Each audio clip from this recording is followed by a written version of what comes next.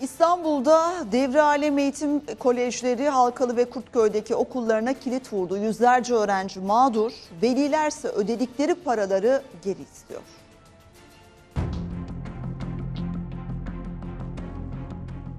Söylentiler çıkmıştı okul boşaltılacak işte gideceğiz vesaire diye. Hiç ihtimal bile vermediler ancak acı gerçekte yüz yüze geldiler. Çocukları okulsuz kaldı, ödedikleri paralarsa boşa gitti.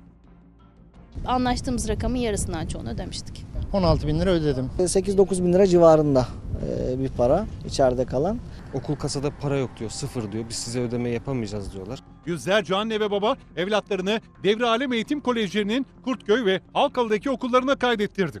Şubat ayında erken ödeme vaadiyle iki çocuğumu kaydettirdim.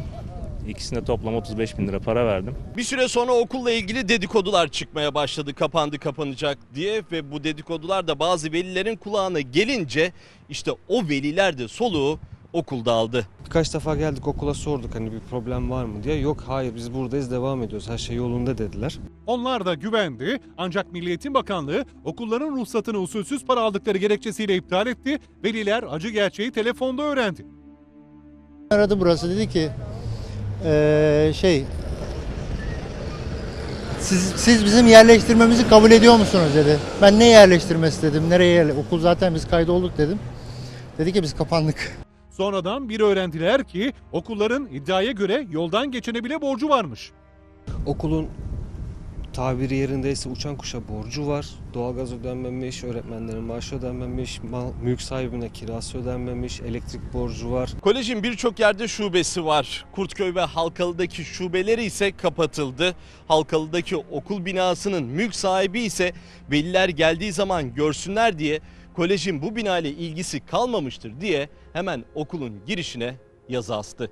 Yüzlerce öğrenci derslerin başlamasına sayılı günler kala okulsuz, kara kara çocuklarını nereye yazdıracaklarını düşünen aileler bir taraftan da kaptırdıkları paraların peşindeler. Paramın ne zaman ödeneceğine dair bilgi bekliyorum. Ödediğimiz paraları geri alamayacağımızı düşünüyoruz.